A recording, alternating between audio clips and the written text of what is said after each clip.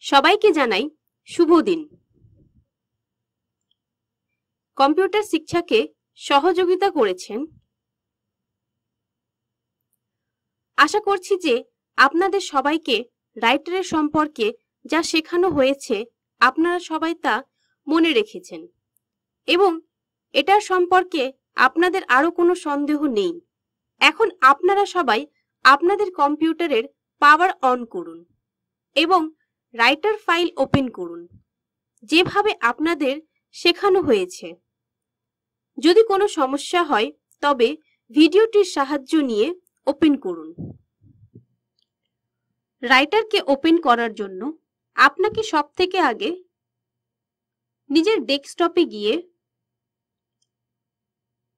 Open office আইকনটিকে খুঁজতে হবে।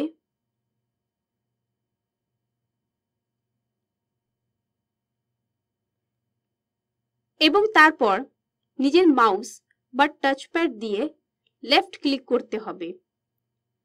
আপনি দেখতে পাবেন একটি নতুন পাতা খুলে গেছে এবং সেখানে টেক্সট ডকুমেন্ট অপশন রয়েছে। সেখানে নিজের মাউস বা টাচপ্যাড দিয়ে একবার লেফট ক্লিক করুন। আপনি দেখতে পাবেন আপনার রাইটারের ফাইল খুলে গেছে। আজকের ক্লাসে আপনারা মেনু বার সম্পর্কে শিখবেন। রাইটার ফাইলের অনেকগুলি মেনু আছে, যেমন ফাইল এডিট ভিউ ইনসার্ট ইত্যাদি।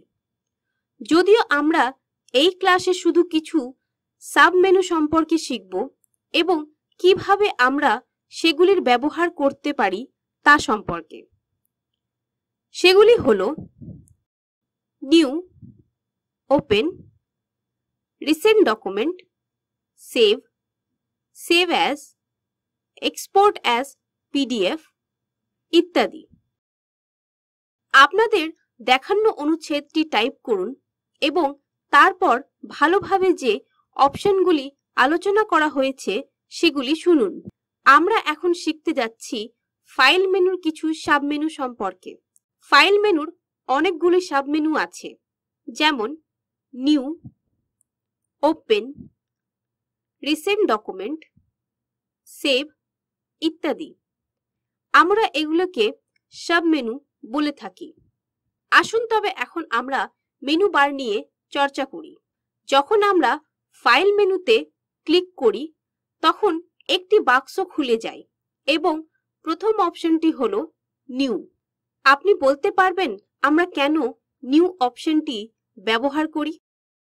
আমরা একটি নিউ ফাইল বা একটি নতুন রাইটার পেজ পাওয়ার জন্য নিউ অপশনটি ব্যবহার করি। তবে এখন কি আপনারা বলতে পারবেন আমরা কীভাবে একটি নিউ ফাইল পেতে পারি? যখন আপনি একটি ডকুমেন্ট টাইপ করেন এবং আপনি কাজটি শেষ করে ফেলেন, তখন অন্য কিছু কাজ করার জন্য আপনাকে একটি নতুন পেজের প্রয়োজন হয়।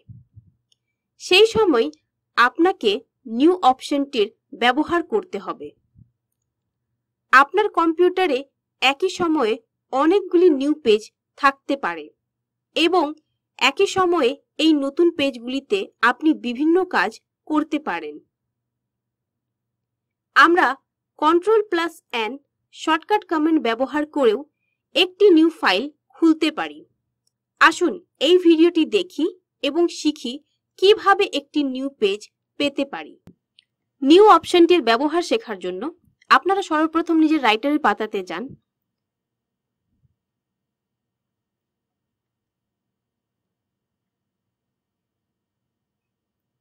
এবং তারপর ফাইল মেনুতে গিয়ে যে প্রথম নিউ অপশনটি দেওয়া আছে সেখানে যান। এবং টেক্সট ডকুমেন্টটিকে নিজের মাউস বা টাচপ্যাড দিয়ে একবার লেফট ক্লিক করুন। আপনারা নতুন পাতা পেয়ে যাবেন। এইভাবে কীভাবে নতুন পাতা পেতে হয়, আমরা সেটা শিখলাম। আপনারা কি জানেন আমরা কেন ওপেনের ব্যবহার করি।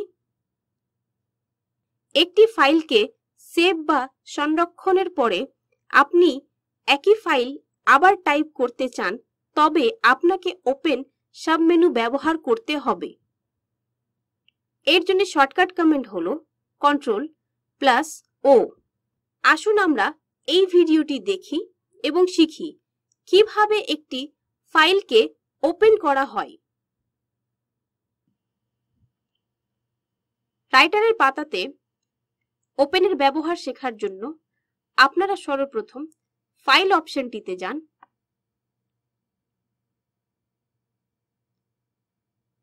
এবং সেখানে ওপেন অপশনটিতে একবার ক্লিক করুন। আপনার সামনে অনেকগুলো ফাইল খুলে যাবে। এবং আপনি যে ফাইলটিকে ওপেন করতে চান বা খুলতে চান,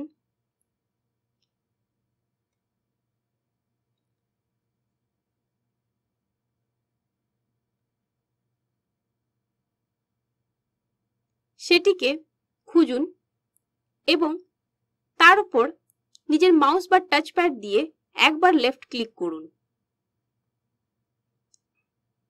এবং আবার নিচে ওপেন অপশনটিতে একবার ক্লিক করুন।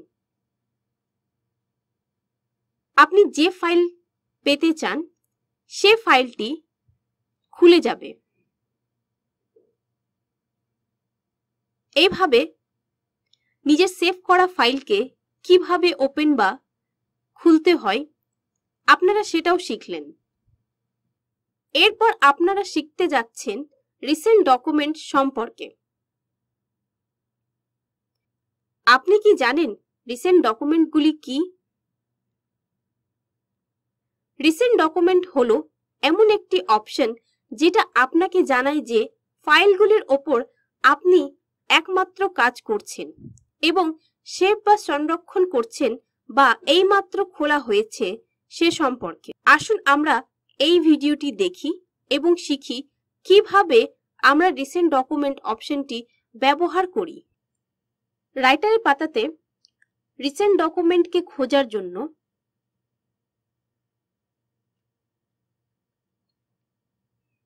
আপনারা ফাইল অপশনটিতে একবার ক্লিক করুন।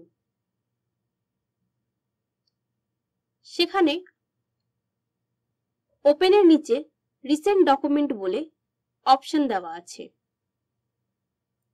সেখানে মাউস নিয়ে যেতে আপনারা দেখবেন অনেকগুলো ফাইলের নাম চলে আসবে। এবং আপনারা যে ফাইলটি খুঁজছেন, সেখানে একবার ক্লিক করে দিন। আপনারা দেখতে পাবেন সেই ফাইলটি খুলে যাবে। এইভাবে আমরা রিসেন্ট ডকুমেন্টও খোঁজা শিখলাম। আপনি প্রথমে শিখবেন কীভাবে একটি ফাইলকে সেভ বা সংরক্ষণ করবেন। তারপর নিউ ফাইল কীভাবে ওপেন করতে হয় তা শিখবেন এবং সবার শেষে শিখবেন কীভাবে সেভ অ্যাজ অপশনটি ব্যবহার করতে হয়। আপনারা কি বলতে পারবেন আমরা কেন সেভ অপশনটি ব্যবহার করি? যদি আপনি একটি ফাইল তৈরি করেন বা আপনি একটি গুরুত্বপূর্ণ ডকুমেন্ট টাইপ করেন এবং আপনি পরে এই ডকুমেন্টের মধ্যে প্রবেশ বা ওপেন করতে চান বা একই ফাইল বা ডকুমেন্টের মধ্যে আরও কিছু যোগ করতে চান, তাহলে আপনাকে সেভ অ্যাজ অপশনটি ব্যবহার করতে হবে। এটির জন্য আপনি shortcut command control plus S ব্যবহার করবেন। আসুন এই ভিডিওটি দেখুন এবং শিখুন কীভাবে একটি ফাইলকে সেভ করতে হয়। রাইটারের পাতাতে সেভ অপশনটির ব্যবহার শেখার জন্য আপনারা সর্বপ্রথম ফাইল অপশনটিতে একবার ক্লিক করুন। নিজের মাউস বা টাচ প্যাডের লেফট বাটন দিয়ে। এবং সেখানে সেভ অপশনটিকে খুঁজুন। সেভ অপশনটিকে একবার ক্লিক করুন।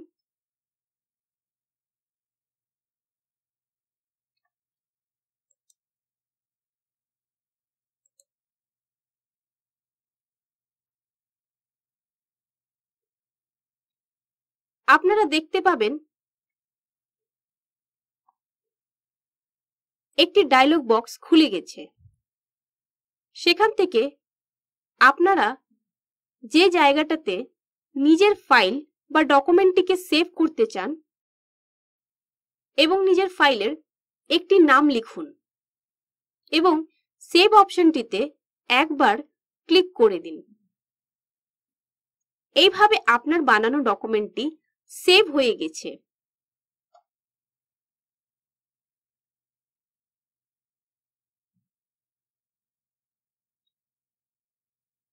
এবং আপনি যে ফাইলের নামটি দিয়েছেন, সেটি আপনি নিজের উইন্ডোজের ওপরে দেখতে পাবেন। এইভাবে আপনারা ফাইলকে সেভ করাও শিখলেন। পরে আপনারা শিখবেন একটি ফাইল ওপেন করতে হয় এবং কীভাবে এই অপশনগুলিকে ব্যবহার করতে হয়। যেমন, new, save export as PDF আসুন, এখন আমরা সেভ অ্যাজ সম্পর্কে শিখব। সেভ অ্যাজ অপশনটির ব্যবহার করে আপনি যে ফাইলটি সেভ বা সংরক্ষণ করছেন, তার অবস্থান সম্পর্কে আপনি জানতে পারবেন এবং কি নামে সেভ আছে সে সম্পর্কেও জানতে পারবেন। আমরা ফাইলের নাম এবং অবস্থান পরিবর্তনও করতে পারি। সেভ অ্যাজ অপশনটি ব্যবহার করে আপনি বর্তমান অবস্থান এবং ফাইলের নাম পরিবর্তন করতে পারেন। এটির জন্য শর্টকাট কমেন্ট হল control plus shift plus S আসুন ভিডিওটি দেখুন এবং শিখুন কীভাবে আমরা এই সেভ অ্যাজ অপশনটির ব্যবহার করি।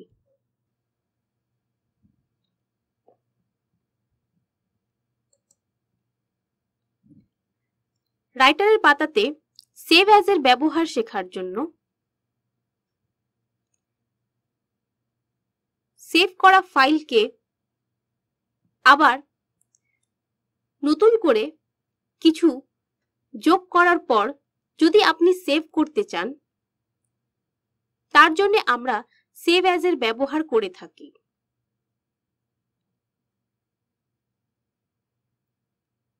তার জন্যে আপনি যা সে ফাইলটিতে যোগ করতে চান সেটি টাইপ করুন।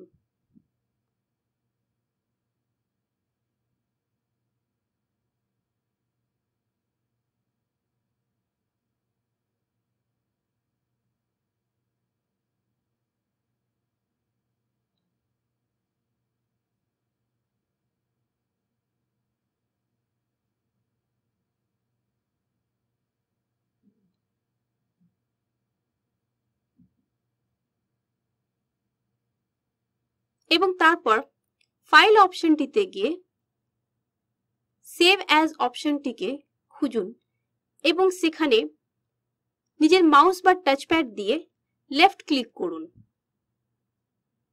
আপনারা দেখতে পাবেন একটি ডায়লগ বক্স খুলে গেছে। সেখান থেকে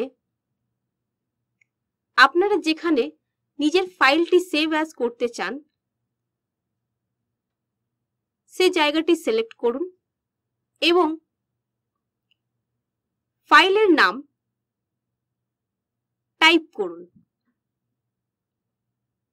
এবং আবার সেভ অপশনটিকে একবার ক্লিক করুন। আপনারা দেখতে পাবেন আপনার ফাইলের নাম পাল্টিয়ে গেছে।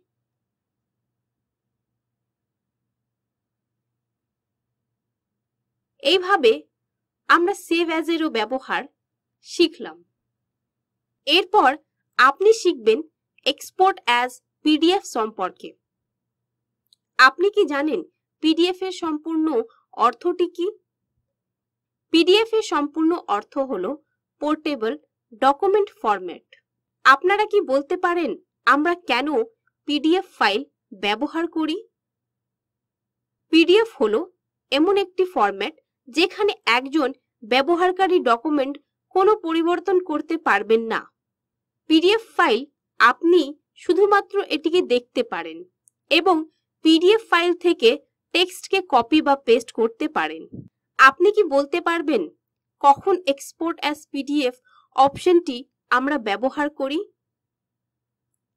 আমরা পিডিএফ ফরম্যাট ফাইল তৈরি করতে চাই, যখন আমরা কোনো ইউজার বা ব্যবহারকারীকে ফাইল পরিবর্তন করতে দিতে চাই না, কিন্তু ফাইলটি পড়তে পারে। আমরা এই ফাইলটাতে কিছু টাইপ করতে পারি না। সুতরাং আমরা আমাদের গুরুত্বপূর্ণ ফাইলগুলি নিরাপদ রাখতে পিডিএফ ফরম্যাট ব্যবহার করি। কোনো ব্যবহারকারী আমাদের ফাইলের মধ্যে কোনো পরিবর্তন বা এডিটিং করতে পারবে না। একটি পিডিএফ ফাইল খোলার জন্য আপনার অ্যাডব রিডার সফটওয়্যারটি ব্যবহার করতে হবে, যার সাহায্যে আপনি পিডিএফ ফাইলগুলি পড়তে পারবেন। আসুন আমরা ভিডিওটি দেখি এবং শিখে নিই কীভাবে আমরা একটি রাইটার ডকুমেন্ট থেকে পিডিএফ ফাইল তৈরি করতে পারি। রাইটারের পাতাতে এক্সপোর্ট অ্যাজ পিডিএফ এর ব্যবহার শেখার জন্য আমরা সর্বপ্রথম ফাইল অপশনটিতে ক্লিক করব। এবং এক্সপোর্ট অ্যাজ পিডিএফ অপশনটিতে নিজের মাউস বা টাচপ্যাড দিয়ে লেফট ক্লিক করব। একটি ডায়লগ বক্স খুলে যাবে। যেখানে নিচে তিনটি অপশন দেওয়া আছে এক্সপোর্ট ক্যান্সেল এবং হেল্প। আমরা সেখান থেকে এক্সপোর্ট অপশনটিকে একবার ক্লিক করব।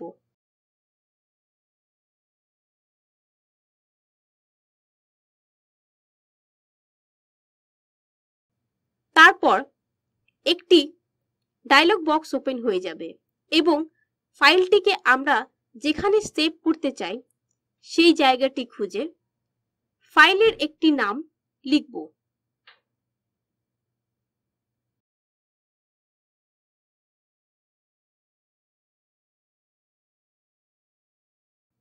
এবং সেভ অপশনটিতে ক্লিক করব।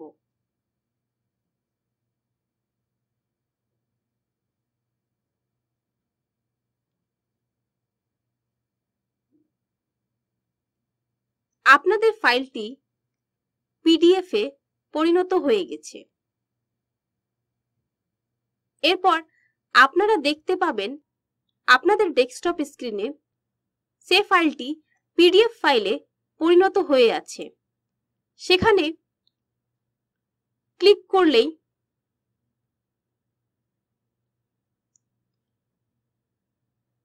আপনাদের ফাইলটি খুলে যাবে। একটি পিডিএফ ফাইল খোলার জন্য আপনার অ্যাডব রিডার সফটওয়্যারটি ব্যবহার করতে হবে। এইভাবে আমরা এক্সপোর্ট অ্যাজ পিডিএফ এর ব্যবহার শিখলাম। যেহেতু এখন আমরা আজকের ক্লাস শেষ করতে যাচ্ছি, তাই আপনারা সবাই আপনাদের রাইটারের ফাইল ক্লোজ করুন এবং যদি এই ফাইলকে ক্লোজ করতে আপনাদের কোনো সমস্যা হয়, তবে আপনারা অবশ্যই ভিডিওটি দেখে শিখে নিন কীভাবে রাইটারের ফাইলকে ক্লোজ করা হয়। রাইটারের ফাইলকে ক্লোজ করার জন্য আমরা সর্বপ্রথম রাইটারের পাতার উপরে ডান দিকে কোণে যে ক্রস বাটনটি রয়েছে, সেখানে একবার ক্লিক করব। আপনাদের সামনে একটি ডায়লগ বক্স খুলে যাবে, যেখানে সেভ ডিসকার্ড আর ক্যান্সেল তিনটি বাটন রয়েছে। আপনারা যদি এই ফাইলটিকে সেভ না করতে চান, তাহলে ডিসকার্ড বাটনটি একবার ক্লিক করে দিন। আপনার রাইটারের ফাইল ক্লোজ হয়ে যাবে এবং আপনারা ডেস্কটপ বা উইন্ডোজ দেখতে পাবেন। তারপর কম্পিউটারগুলি শাটডাউন করুন। এবং যদি এটিকে করার সময় কোনো সমস্যার সম্মুখীন হন, তাহলে আবার ভিডিওটি দেখে নিন। সব থেকে আগে আপনারা নিজের পয়েন্টারকে স্টার্ট বাটনে নিয়ে যান। তারপর আপনি দেখতে পাবেন শাটডাউন অপশন রয়েছে। সেখানে আপনি একবার ক্লিক করুন। এইভাবে আপনার কম্পিউটার বন্ধ হয়ে যাবে। আজকে আপনারা সবাই শিখেছেন ফাইল মেনুর কিছু সাবমেনু সম্পর্কে। যেমন new open recent document save save as এবং এক্সপোর্ট অ্যাজ পিডিএফ আমরা আরও এই সাবমেনু অপশনগুলি কীভাবে ব্যবহার করা হয় সেগুলো সম্পর্কেও শিখেছি। কম্পিউটার শিক্ষাকে সহযোগিতা করেছেন। ধন্যবাদ।